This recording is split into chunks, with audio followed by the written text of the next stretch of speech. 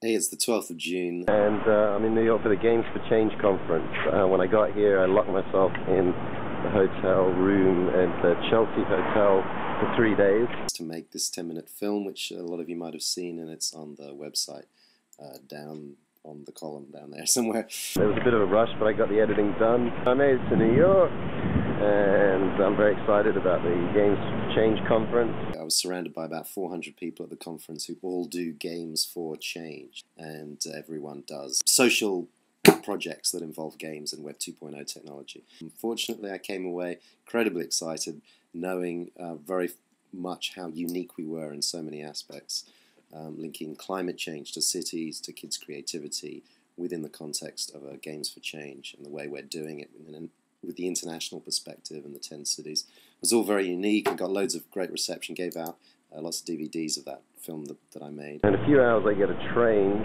to meet with Matt Costello, a uh, big time game designer and writer. You know, a really great contact and got on fantastically with him. He was amazingly helpful and wonderful, um, responsive, and we had uh, dinner and um, met his wife, who was great too, and um, we went for a drink and had a, even a little brainstorm about the project. Came up with the whole thing moved a giant leap forward. It was absolutely fantastic.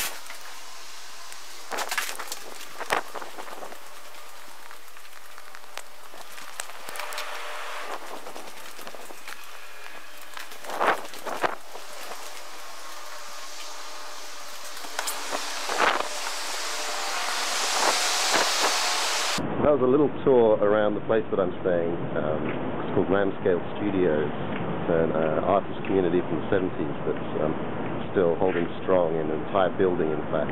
That tour was only half of the property.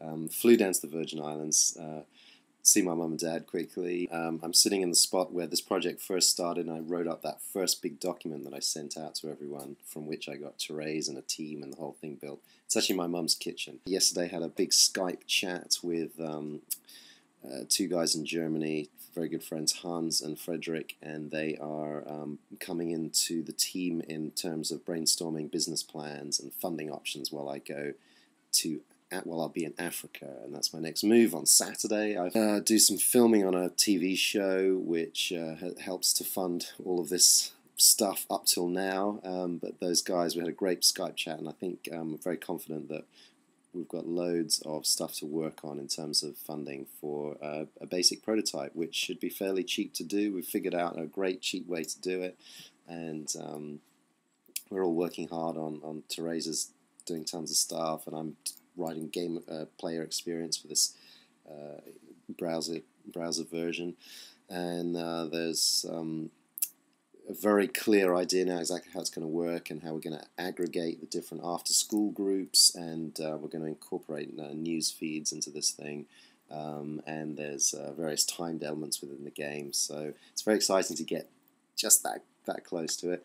Uh, so um, when I go off to, off to Africa, I um, hope that I'll have enough internet connection to keep these vlogs up and keep more connected. Um, but if not, uh, you might be seeing a little bit more from Therese and the other guys. So uh, keep uh, checking it out. And thanks once again, everyone, for fantastic support.